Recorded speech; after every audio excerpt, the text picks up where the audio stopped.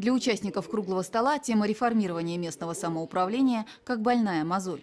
По причине неподкрепленных финансами реформ семеро глав поселений в Бурятии уже сложили свои полномочия. Остальные настаивают – нет денег, нет полномочий. Полномочий у сельского поселения очень много, но выполнения денежных средств, конечно, не хватает нам. Меня на сегодня волнует ремонт внутрипоселенческих дорог.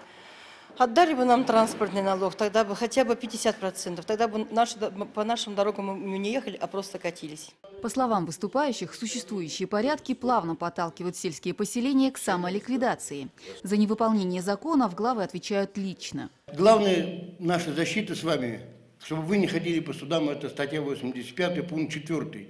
Там черным по белому написано – Муниципальные образования могут взять на себя полномочия только при наличии источников покрытия этих расходов. А этого нет, но никто не, не желает этого слушать. Вот глаз вопиющего в пустыне. Но почему, Борис Николаевич? Что это за дискриминация глав? Новые поправки в 131 федеральный закон предусматривают для сельских поселений сокращение полномочий в три раза.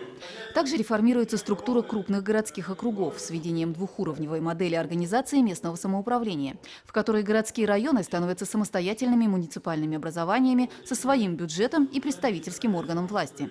При этом сохраняется вариативность, отметил мэр Улан-Удэ, сделав вывод о нецелесообразности реформы в своем городском округе. Эти изменения не предполагают кардинального и повсеместного реформирования местного самоуправления. Это главная, я считаю, и ключевая фраза, которую я сегодня вот озвучу в своем выступлении. Законодатель предоставил право выбора территориям самостоятельно определиться с объемом и характером реформирования. По-другому в законе ничего не написано.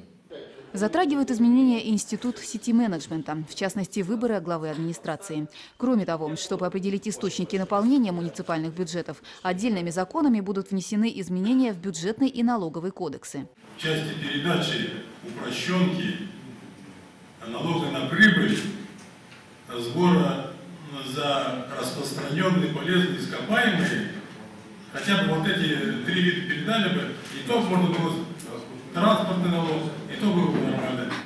Соответственные рекомендации Народный хурал отправит в Госдуму и Совет Федерации. Алевтина Шеркшаны, Евгений Павлов. Новости дня.